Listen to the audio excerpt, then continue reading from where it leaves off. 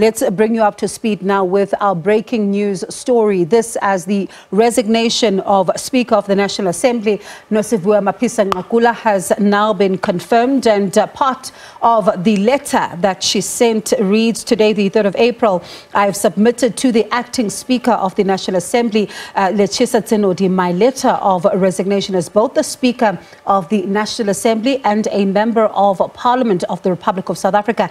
And she says, Mfundo, the resignation is effective immediately. Mm-hmm. No, quite a lot that she states there because I even see that she has mentioned that I've made this conscious decision in order to dedicate my time and focus to deal with the recently announced investigation against me by our country's law enforcement agencies. So indeed, it is yeah. related to what is happening. Mm. But quite important that you mentioned the political fallout or what happens now insofar as the ANC, because we do know that this is where now the step aside rule would come into force once she is charged. Mm. And as we stated that tomorrow possibly she would be handing herself over. So one wonders what would then happen there or what conversation took place even today that perhaps maybe prompted her to take this decision that if ever you are to surrender yourself anytime this week.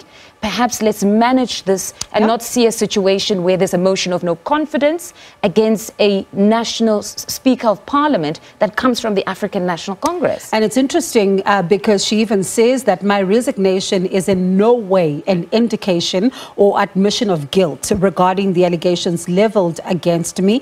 And uh, I have made this decision in order to uphold the integrity and sanctity of our parliament, an apex institution of our system of government representing the people of South Africa as a whole. So it's quite interesting because she makes this very clear, but also at the same time, you think about the fact that she even mentions in her letter that as a member of the ANC, I've spent half my life in the forefront of the struggle, defending the freedom of the right and, and the rights of all South Africans. So she is, of course, not oblivious to the fact that this is not only a legal matter now, mm -hmm. there's also going to be the political impl implications. I mean, you think about also, Mfundo, the political parties that were also calling for her just as the reports were surfacing to say she needs to explain or she needs to go. Mm -hmm. And it's so close to elections. This couldn't have come at a difficult, a more difficult time for the African National Congress. And again, I ask, could there have been a conversation with the party? Because reports over the weekend were suggesting that uh, the chief whip, Pemmy Majodina, might have possibly wanted a situation where they talk to the national speaker and they don't allow for a motion of no confidence to go through because that would be quite embarrassing and they might be ANC members who perhaps vote with the opposition. So in most instances, you never have an African National Congress that wants to vote with an opposition. Any motion that is sponsored by the opposition becomes a difficult one for mm. the party. Mm. So perhaps this is a more ideal situation for them. And it's going to be interesting because remember, even when the allegations surfaced and there was talk about the fact that, um, you know, she could possibly be arrested, we saw the chief whip of the ANC in parliament saying that no, let's just wait um, and, and, and wait for the investigations. Whatever happens, we'll then be monitoring this particular situation and whatever needs to be done in terms of the processes will be done. So I suppose even when you look at some of the weekend reports, it does hint at the fact that she was taking this process very seriously. But it also further circles back to, um, you know, the ANC and how they've also come under scrutiny, especially when they deal with some of their own members senior members who would be facing serious allegations. This is a political party that right now is still contending with some of the voters who are saying, what are you doing with the Zondo Commission's report? What mm -hmm. are you mm-hmm. doing to make sure that some of those who have been impl impl implicated, how are you dealing with it now going into the elections, particularly over the list process as well? Mm -hmm. You know, you also mentioned that her lawyer has stated that she wasn't necessarily favored at this whole situation. But you would have heard yesterday Judge Sulet Potterill stating that what we have seen is a very courteous law enforcement mm. insofar as she's concerned, mm. because ordinary citizens in most cases would not have a situation where you speak to law enforcement that my lawyer is not around. Can you please just afford me that courtesy for him to come and to assist me in this processing, uh, or rather me being processed through the court system?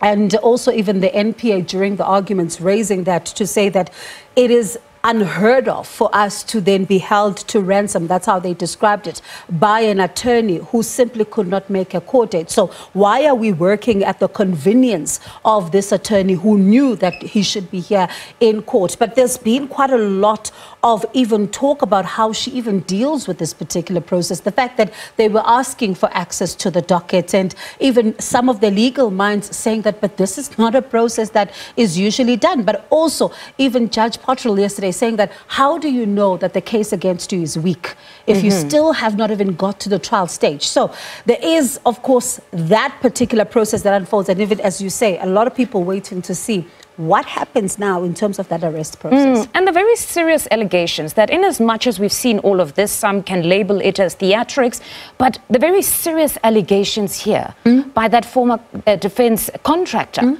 they were talking about 2.3 in bribes. The solicitation of bribes is what she's accused of, yeah. to the tune of 2.3. And when just following the timeline and basing this on the reports that are out in the public domain, it's that at some point she went and met with Nombasa and stated that just in case you were unaware who is requesting this, this money, it is I. Mm. Just in case if the middleman was somebody who was probably using her name and stating that she's requesting such and such an amount, at some point it's indicated that she went physically and met Nombasa and stated that it's me that has been requesting all this money. And with these allegations, Mfundo, you also think about the fact that even her lawyers were, you know, kind of hinting that if you're relying on one witness, then how strong is your case? But it's, it's, it's going to be very interesting for her to now then contend with what, um, you know, this witness is alleging.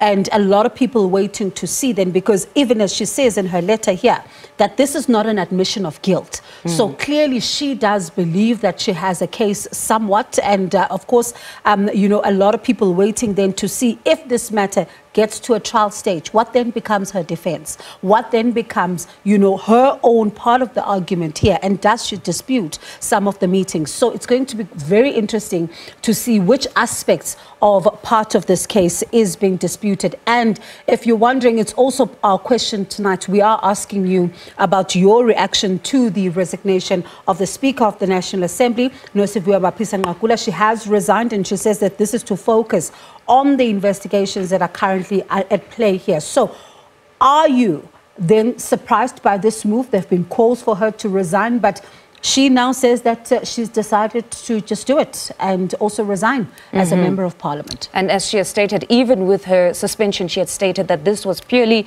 to sort of maintain the dignity of parliament, so and allow her to focus on this particular process that mm she'll now be embarking upon. And uh, it will be interesting to hear what the political parties then have to say in Parliament. I'm sure they were gearing themselves up for that, uh, you know, that that debate that mm. they would have had about this particular matter. Um, possibly some of them were already waiting, gloves off, uh, to really hold no bars here mm -hmm. when it comes to this particular issue. But how does then this change the dynamics in Parliament? And what kind of impact is this going to have on the ANC caucus? Mm -hmm. That is the big question, honestly. The impact of her resignation in as much much as it's not an admission of guilt, as she stresses, but nevertheless, one would say that this whole situation has tainted the ANC somewhat, and again at a very critical time, just almost less than two months eh, before we go to elections. But beyond that, with the Democratic Alliance, it seemed that in most cases, opposition was not always acting in concert or in mm. agreement, mm. but this time around, there were many smaller parties that were saying, yes, we support this motion. And the interesting thing that when it was accepted by the Deputy Speaker, there seemed to have also been some sort of a problem there.